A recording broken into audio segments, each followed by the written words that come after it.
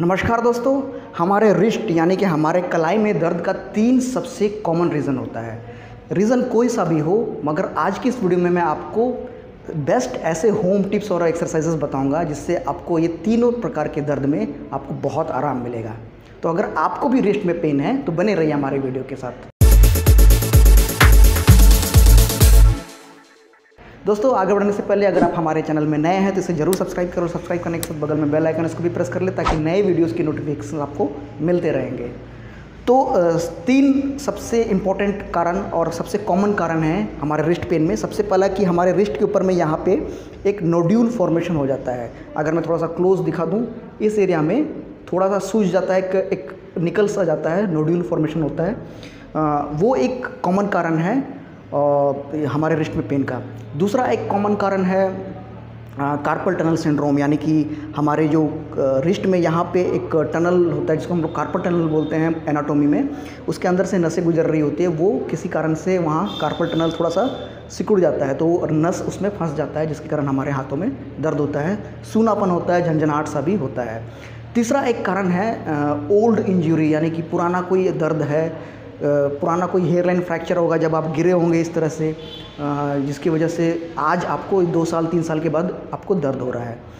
तो इन सब के बारे में मैं आपको पहले टिप्स बताने वाला तो सबसे पहले मैं जो नोड्यूल्स होता है, उसके बारे में मैं आपको टिप्स बताता हूँ। इस जो हमारे कलाई के ऊपर में जो नोड्यूल फॉर्मेशन हो जाता है, उसके लिए कोई मेडिसिन नहीं है। आप डॉक्टर के पास चले भी जाएँगे तो वो लोग मेडिसिन देने के लिए मना करेंगे।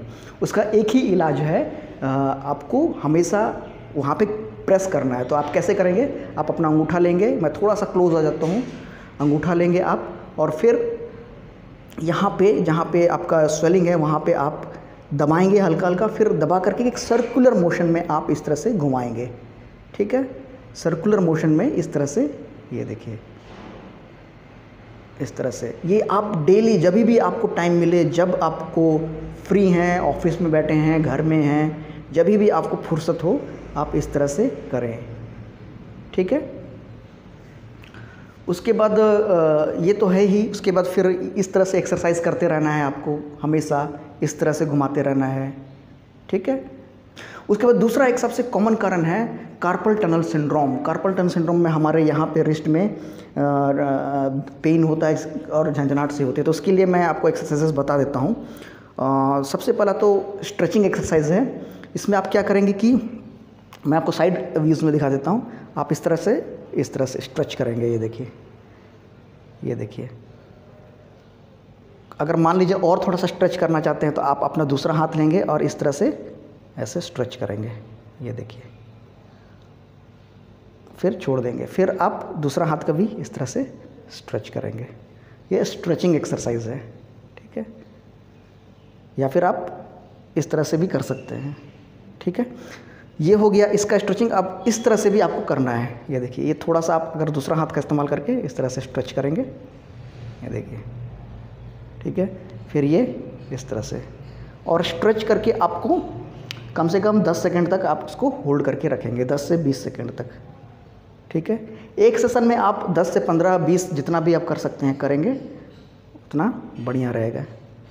ये तो था स्ट्रेचिंग एक्सरसाइज उसके बाद इसका स्ट्रेंथनिंग एक्सरसाइज भी है। आप सिंपल आप इस तरह से करें और ये ये देखिए, इसको ऐसे मूव करना है, इस तरह से।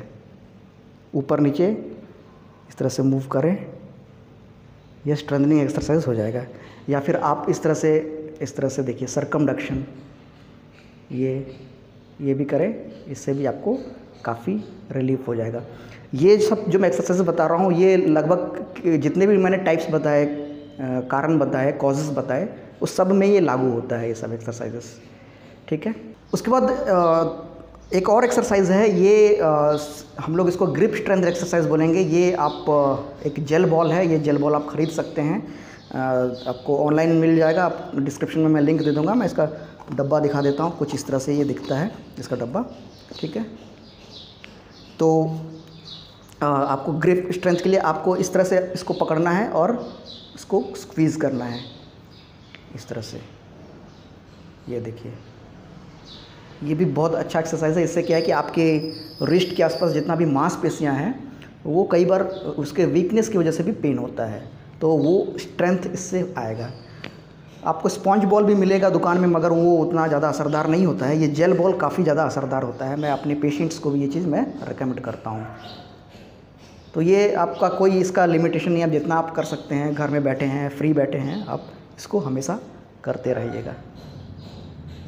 दोस्तों, ये वीडियो कैसा लगा? अगर आप हम, हमें कंसल्ट करना चाहते हैं या फिर आप एक फिजियोथेरेपी स्टूडेंट हैं तो आप ज्वाइन बटन नीचे वीडियो के नीचे मिल जाएगा। वहाँ से जाकर के आप मुझे कंसल्ट कर सकते हैं, एक छोटी सी अमाउंट दे करके।